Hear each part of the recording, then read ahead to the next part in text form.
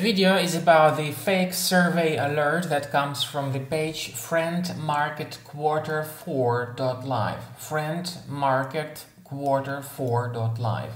It's a fake alert that uh, states some deceitful messages. It says that you are today's lucky visitor and that you have a chance of winning some prize, uh, either in the form of cash or as uh, some top gadget like iPhone of the latest model or Samsung Galaxy phone or some uh, smart TV or some other device. But the reality is that to win that so-called prize you're supposed to pass through the fake survey and at the end of the survey you may be told to provide some of your personal details, your name, your email address, possibly your telephone number and eventually this data may be granted to third parties uh, illegally and you may start getting spam to your telephone, to your email address and so on.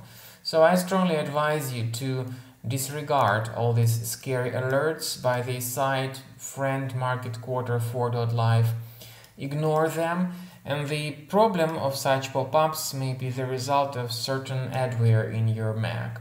So be careful to examine your available Mac applications. If you find something suspicious here, go ahead and move it to the trash.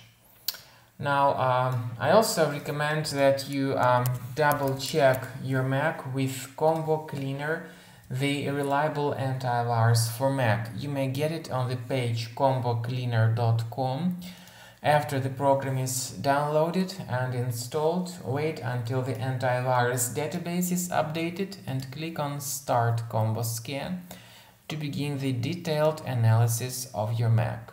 This is the end of scanning by Combo Cleaner Antivirus. After the scanning is completed, uh, you'll see the detailed report about the status of your Mac. You may go to the antivirus area and click on Review Results.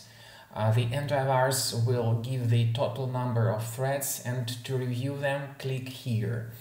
Now um, the program will show you the name of each specific threat and what's very important it will also show you its uh, exact location.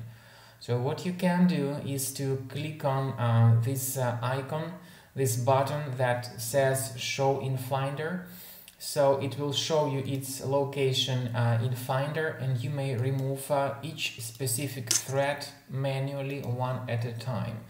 So this is the free uh, manual approach to deleting threads from your Mac computer. And um, once all these threads are deleted manually, the problems with your Mac should be fixed. Or you may uh, consider deleting these threads automatically, however this can be done only with the premium version of the program. Thanks for watching!